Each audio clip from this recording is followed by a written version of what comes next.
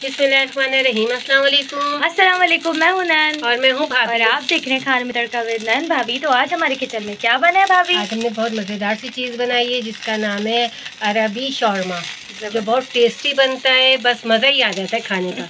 तो इसको ट्राई करिएगा इंशाल्लाह पसंद आएगा। चलाइए बनाना शुरू करते हैं। इसमें हमने खाने के तीन चम्मच घी डाला है और घी जब पिघल जाएगा मतलब गर्म हो जाएगा तो इसमें हम जो है लहसन डालेंगे। तीन हमने लहसन लिए थे जिसको हमने बारीक बारीक काट लिया है। और इसको थोड़ा सा लाइट गोल्डन करेंगे कि मतलब जो है लहसन का फ्लेवर जो है हमारे घी में आ जाए।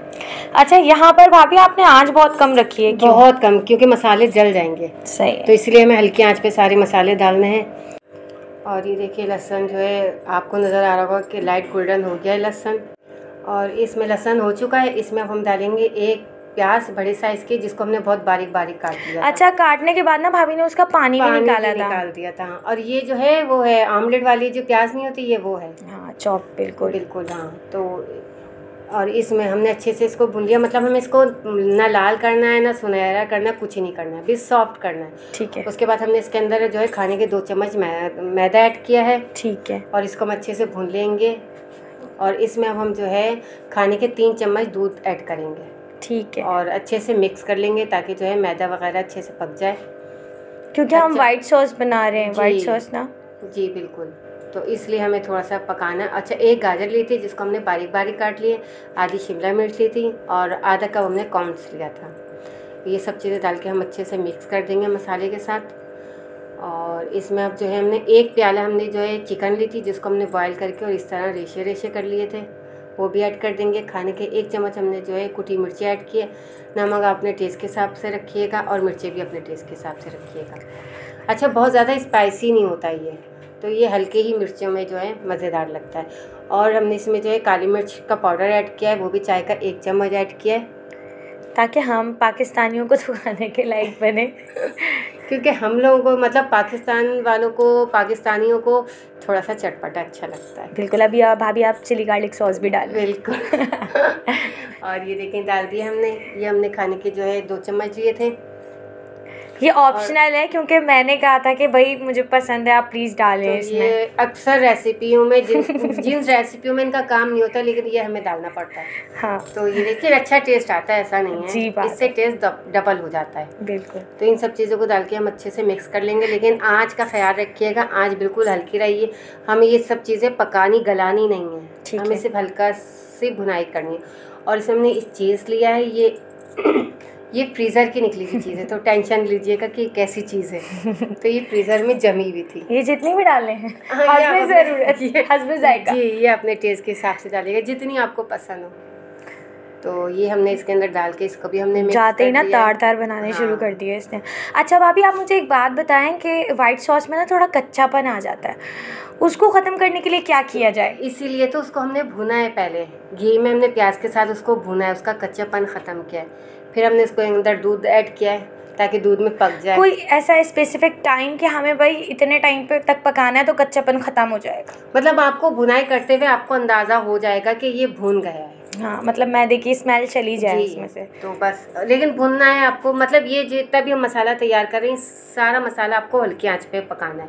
आपको मैदे की बुनाई भी हल्की आँच पे करनी है आपको सारे मसाले हल्की आँच पे ही पकाने हैं। और ये देखिए अच्छे से हमने इसको मिक्स कर दिया है। और ये देखें अब हम इसको निकाल लेंगे। माय गोभी में मुझे ये मायोनीज डालेंगे। मायोनीज कितना लिया था अभी आपने? ये हमने खाने के चार चमचे लिए थे। इसको अच्छी तरह मिक्स कर लेंगे इसमें। और कैबेज कितना लिया था? वो हमने एक कप लिया था। ये देखिए हमने अच्छे से मिक्स कर लिया है। अब इसको हम रखेंगे साइड पे।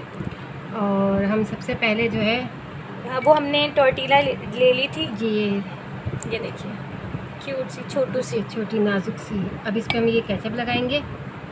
चिली गार्लिक सॉस लगाएँगे।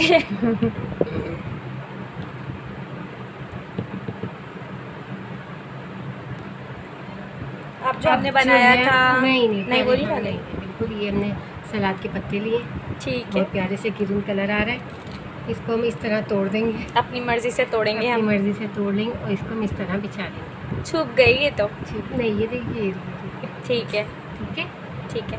और अब हम जो है ये जो हमने मसाला बनाया था हम वो रखेंगे इस पर अच्छा साइड में करके रख जी जी जी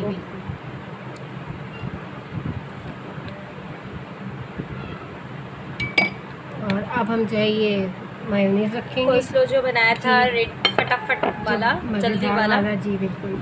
तो वो रखा। ये तो काफ़ी भर जाएगा जी नहीं? बिल्कुल। भरा हुआ ही होता है ये टेस्टी जब ही होता है। अच्छा ये सारी चीज़ें जा चुकी है इसके अंदर? अब? अब इसको हम इस तरह जो है ये देखें जनाब। इस तरह हम इसको कवर कर देंगे। इसी तरह हम जो सारे बनाएँगे ये देखिए ये देखें अरबिक शवरमा रेडी है। देखिए हमने इसको ग्रीस कर लिया। ज़्यादा हमें ऑयल या घी की ज़रूरत नहीं है। सिर्फ़ हमें हल्का सा सेकना है इसको बहुत ज़्यादा घी में हमें नहीं बनाना